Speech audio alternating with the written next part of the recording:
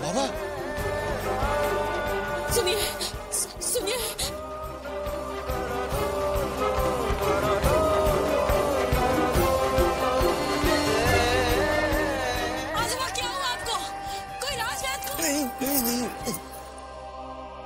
नहीं उसकी उसकी आवश्यकता नहीं है।